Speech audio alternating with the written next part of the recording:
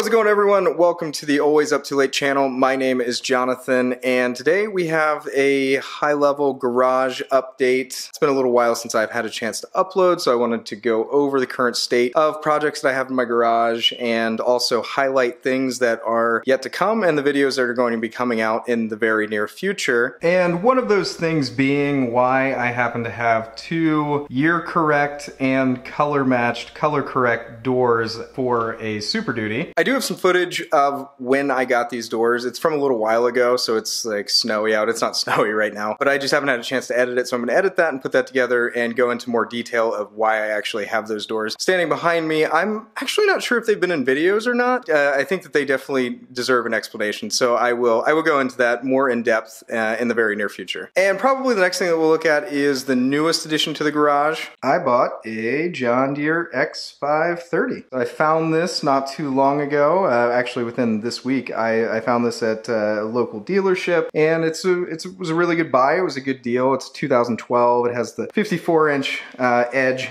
deck on it, and as you can see, it's a little little grassy and dirty because we did some mowing today with it. I, I, mean, I'm really happy with this thing so far. It's it's pretty nice. It's got the hydrostatic forward reverse and the hydraulic uh, deck raising and lifting thing and power steering and all that. Um, but yeah, I mean, it's it's pretty nice. It definitely needs some cleanup work. Like, I mean, the hood needs cleaned and there's some like stuff in it. And if you look inside at like the headlights, you can see that, I mean, that is one thing that John Deere doesn't do with these, is they, they don't seal these. So you end up with getting some dust and dirt and stuff in there, so just gotta take this off and clean that up and everything. And I was joking around earlier with a friend of mine about how I realized that I'm starting to get older. And one way is definitely that I'm excited that I bought a lawnmower. But I mean, there is a little bit of a backstory there and that for the last quite quite a while, I've been using one of the $150 Walmart push mowers and uh, you know, just, it just takes forever and everything. But we have a slightly bigger yard than we used to, and you know, I found this for a good deal.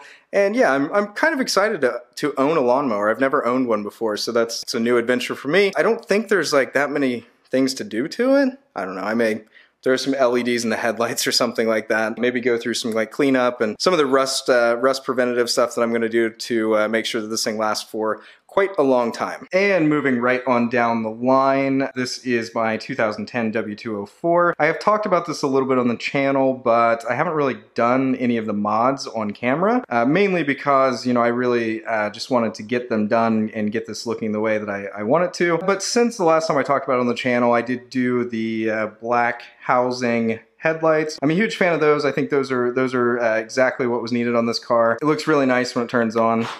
So you can see that it's full LED and LEDs up here and then the LED running lights and everything. But for the most part, it's, you know, I, I try to keep it looking a lot like a factory car, but slightly modified. I mean, uh, I did LED conversion inside and everything, but you can't really see it because I have 5% uh, window tint all the way around. Makes it a lot of fun to try to back this thing up at night, but I think that it just looks I think that looks nice. And as I said, I haven't done most of the stuff on camera, but I did very recently add the C63 steering wheel with the AMG paddle shifters there. The car didn't have it from factory, but it was wired for it, so this was this was pretty cool. And I did actually get a video of, of swapping out the steering wheel, and I'll edit that and get that up. And as you can see, I also have some new trim pieces for the W204. This is a rear trunk spoiler, and this is a rear window spoiler. I was just checking them out and looking at the mounting process and how they were going to look on there, but they're color matched to the 040 color code of the car, and they're they're built pretty well. They're pretty nice. So I mean, they're, they're purely aesthetic because it's not really a performance car, but I think that it will improve the, the overall look and everything. So we'll see how that turns out. And the F-250 is still doing its thing out there. Starting to lose some daylight and everything, but I mean, we can still kind of see it. Still sitting on the 375s, the 12-inch uh, wide wheels. Huge fan of those. I also have an LED conversion in here. The, the dome lights in here are quite nice and bright. You can see, maybe. Can't really see, but it has 180,000 on it. Oh, it's super annoying. I did do the LED dash light conversion and I started to put together a video about it, but I'm actually not a huge fan of it yet. I'm, I'm not super happy with it, so I'm going to pull the dash out and redo some of this lighting stuff and then I'll finish up that video and I'll get that posted to you. And I feel like we haven't done anything to the F-250 in quite a while. So we're just gonna go ahead and address this problem that I have here where this thing is broken. Pretty straightforward to get these plugs out. There's just a tab, comes out like that. This one is the same way. Okay, and then gotta get the front, okay, the front piece is out. So this broke quite a while ago and it wasn't really hurting anything. This one is gray though, not black. Eh, no, I think we'll just, I mean, we'll just go with it. It's fine. But then we just got to get the switches out. How, how do we get the switches out here? Oh, that looks like they have push-in things. Be able to get that out of there. There we go. Okay, we got the one switch out, Put up and down. Gotta get this one out. Can't really see what I'm doing, but I don't have the right tools. I'm using a pocket knife to try to pry this thing out here. There we go. Okay, so we have the new one here, and we're just gonna pop these uh, switches into the new one. I think they just kind of snap in. Yeah, they just snap in. Oh, don't want to put that in upside down. Okay, so we got our new switches installed, and we'll just we plug these back in here, slide this in at the back. And there we go. All right, so that looks pretty good. It's not all hanging and busted and rattling and making noise, so there we go. Did an update to the F-250. All right, and moving right along, you can see this is the oldest vehicle that I have. And I do believe it's also the biggest engine. This is the 8.0 V10 engine. It's a 1996 second gen. Run definitely losing light here, but try to get some good angles of it. You can see that it's actually in pretty decent shape. This side is not rusted out. Let me see if I can fix the ISO here.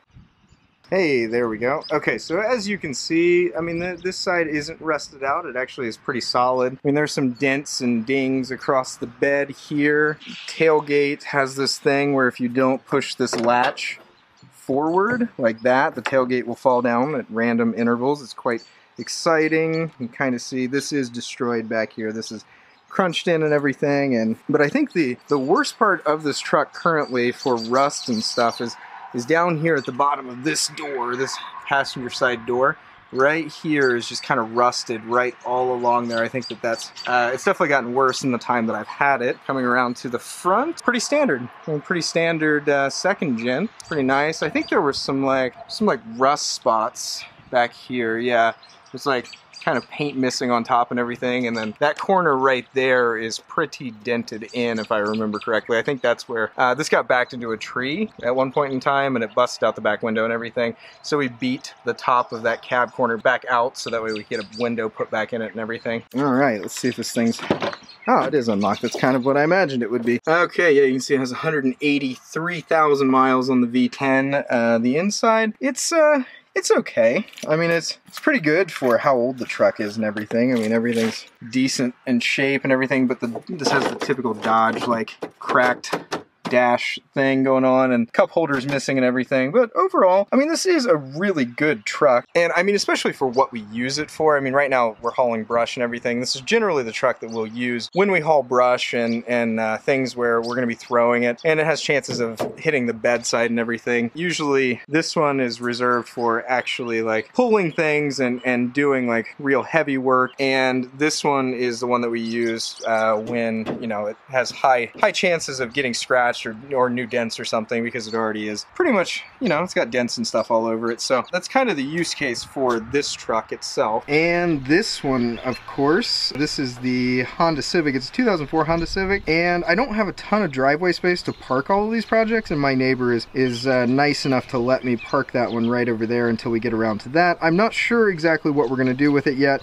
but uh, I don't have a ton of money in that car. It just uh, it's just there for right now, but I will eventually get around to doing something with this one. And you may or may not know that I did at one point in time own a 2005 Excursion. It was a 6.0 Power Stroke. It was a limited, so it had all leather seats and it was black on black and had the black grills and everything. I do quite miss that car, but unfortunately it was in an accident, a uh, pretty nasty accident actually, but everyone was okay, everyone walked away, so that's, you know, that's all that really matters. Being in that, my wife did actually purchase something to replace it as well. And I haven't really talked about it because it's, I mean, it's her car and being that the, the last car was part of my YouTube channel and she really didn't like that she had been in an accident with something that was going to be a project of mine and something that I was going to work on. So she asked me to leave her car alone. I still did some stuff to it and I have some videos and everything that I'll put together uh, just because I can't leave anything alone to start with. Like I, I'm just not going to. I'm going to modify it in some way. Uh, almost, almost always. But this is what she got to replace it. It is a 2016 GL450, four-door SUV pretty big. Third row and everything and all the features that uh, you would expect from a Mercedes. She really likes it. It's got the lighting package, auto folding mirrors, like all that good, uh, good stuff. And not that I think SUVs are necessarily as cool as the F-250, it is sometimes behind me in the garage. So I just want to let you all know, you know, what, what vehicles are in the garage and, and what's really going on and, and stuff that I'm working on or, or, you know, why there's a weird SUV that no one has ever seen and I've never addressed or talked about on the channel. I am still looking into 6.0 Power Strokes. I haven't quite decided what to do or, or, where to go. I mean, I think right now I pretty much just want to keep building the F250 and doing cool stuff to it at this point in time. And if I happen upon a 6.0 and it's the right circumstances and the price is right and, and you know the stars line and all of that, then I'll probably jump on that. But until I'm done with the F250, I probably won't have a 6.0. But again, I mean, deals always come up and I'm always checking Craigslist and Auto Trader for various things and various projects. So if something aligns, I will definitely add that to the channel as well. I mean, I think you know, I do have quite a few motors and, and vehicles right now that are projects that I really need to be working on and, and sorting things out. So in short, I will be coming out with a fair amount of F-250 content in the very near future. Some car stuff, some W204 stuff, gonna be working on the lawnmower as well. I don't think there's much to do to the Dodge. I did have a cam sensor go out not too long ago and we ended up getting that replaced because I was out of town when it, when it went out. Oh yeah, and then the Civic stuff. So yeah, I think there's gonna be a lot of F-250 content coming out in the near future and just some like mixed bag stuff. I, you know, I may throw in a, a car video or maybe I'm just messing around with the lawnmower and stuff, I, would really like to be uploading at a much more frequent rate because that means that I'm getting projects done and I'm accomplishing things and also getting to interact with all of you. So thank you very much for stopping in this evening. I believe that we're going to wrap this video here. If you enjoyed it, please thumbs up and I hope to see you all in the next video.